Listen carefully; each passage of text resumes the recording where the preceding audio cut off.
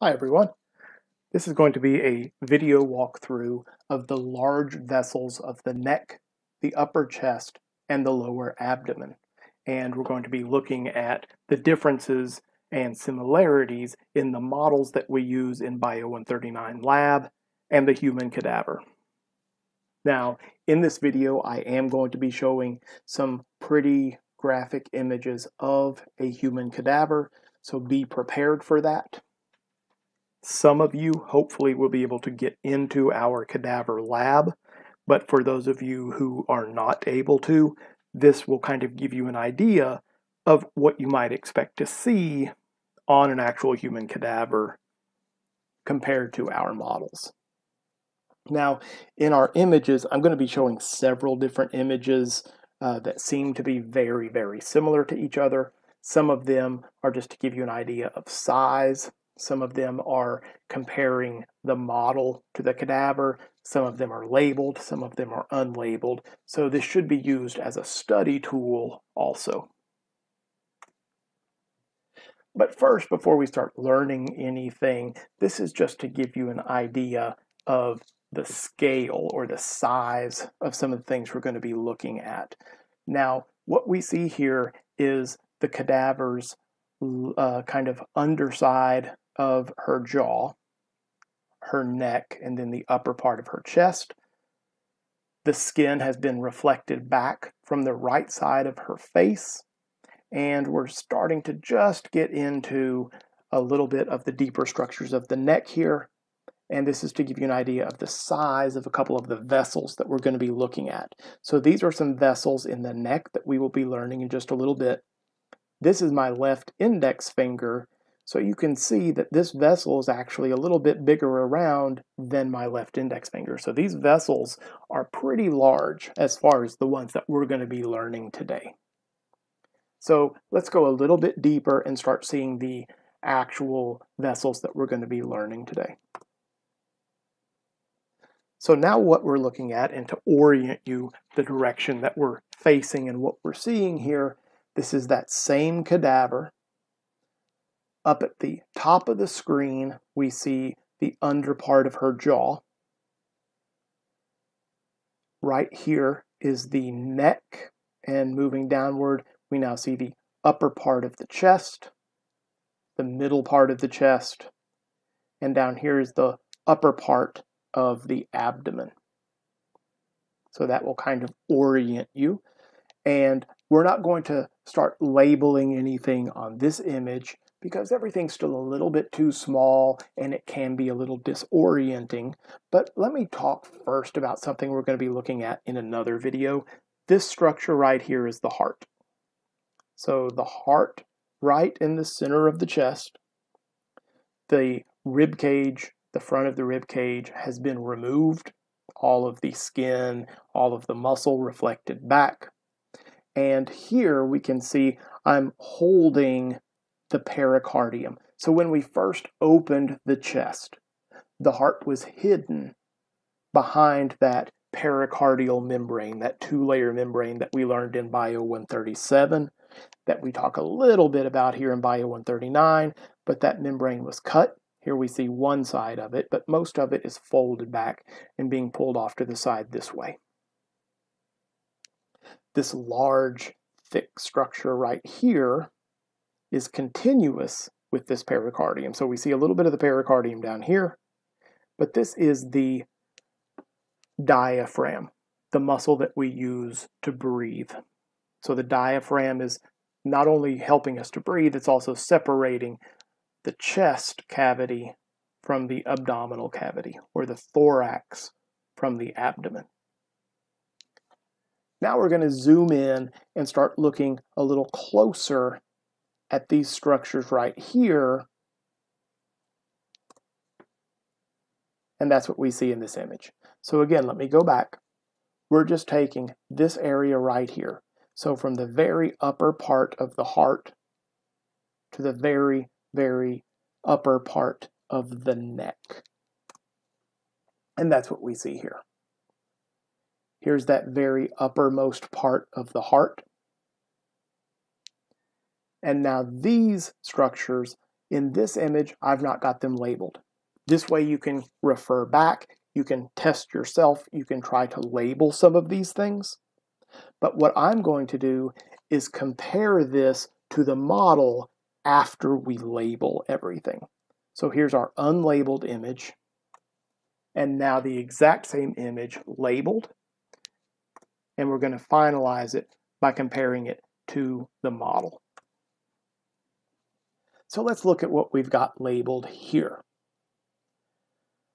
This large vessel right here, coming out of the superior part of the heart, or the upper part of the heart. This is the aorta, the largest vessel in the body.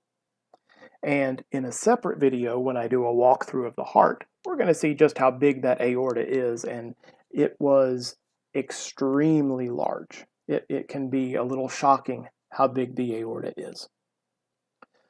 So I've got the aorta, the ascending aorta, the arch of the aorta, and we can just see as it begins to descend the descending aorta. Now let's go through and look at the arteries before we start looking at the veins.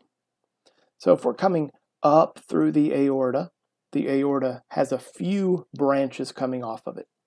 The first thing that branches off of the aorta is the brachiocephalic artery or the brachiocephalic trunk. The brachiocephalic artery is quickly going to branch into a few vessels. The only one that we're concerned with here that I've labeled is the right common carotid artery. And again, right, we're facing the cadaver. So remember, we flip flop. Our left is her right, and our right is her left. So that's why everything seems mirrored here. We go from the aorta up into the brachiocephalic artery and into the right common carotid artery. And there are some more branches here. I don't have them labeled. We're not concerned with them. So don't worry about those. Now, if we were to go back to the aorta, go a little further and bypass the brachiocephalic artery or the brachiocephalic trunk, the next branch coming off of the aorta is the left common carotid artery. So going back, we see the right common carotid artery comes off of the brachiocephalic artery but the left common carotid artery comes directly off of the aorta. And it continues on up. Here we can see it again as it passes behind some of this tissue. Now, if we were to stay in the aorta, bypass the brachiocephalic artery, bypass the left common carotid artery, the next branch right before the descending aorta is the left subclavian artery. And the left subclavian artery passes behind some tissue here. And we can see right there, again, is the left subclavian artery.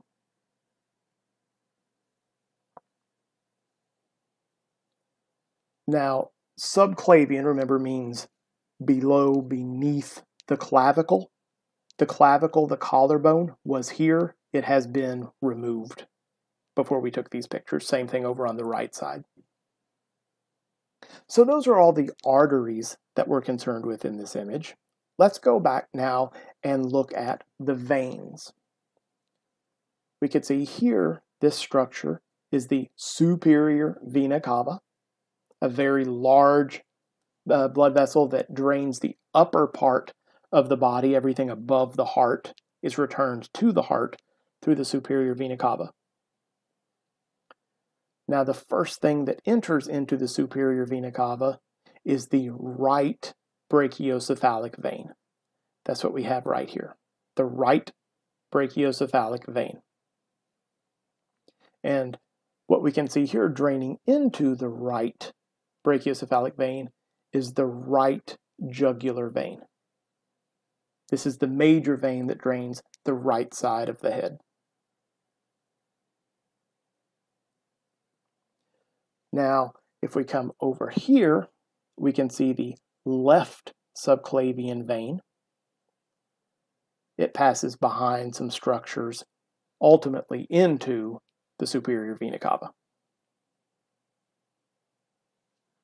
So now that we've labeled everything, let's compare everything that we were just looking at to our neck model that we have here. So the neck model, right here where it starts, I've kind of drawn a line here to give you a rough idea of what we're seeing in the neck model. Here we have the underside of the jaw. Here we have the underside of the jaw. Here we have the larynx and trachea. Here is the larynx and trachea. Here's the thyroid gland. Here is a bit of what I believe is the thyroid gland. Can't really tell much from this image. But right here is where the cutoff for the superior vena cava is. That's about right here. And then the three vessels branching off of the aorta. Here we have the three vessels branching off of the aorta. So by using this labeled image, what I would like for everyone to be able to do is label this image and label both our neck model here and our image here.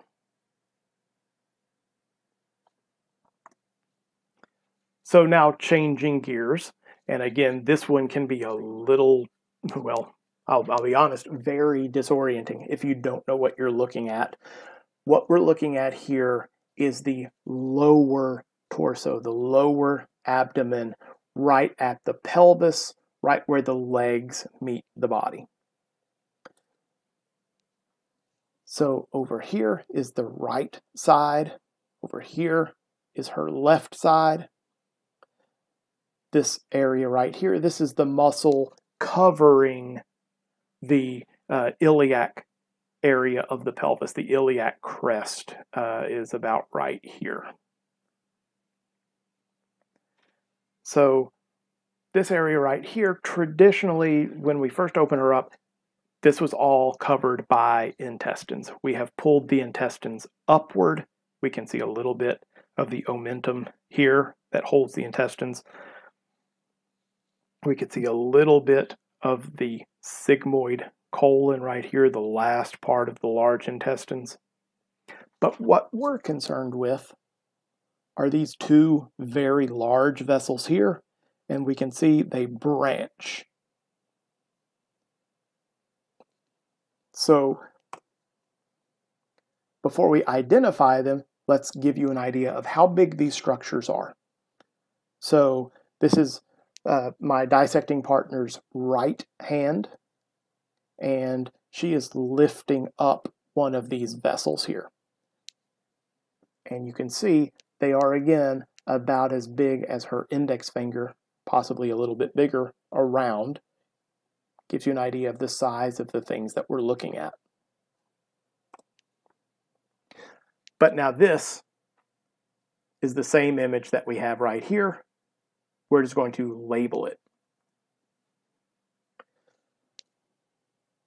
We have the two very large vessels here this one on the right of the image, this is the abdominal aorta. So this is the very, very lowest point of the aorta before its final branch. And when it branches, it's going to be supplying blood into the legs. The first branch is the right and left common iliac artery. So the aorta terminates at the right and left common iliac artery.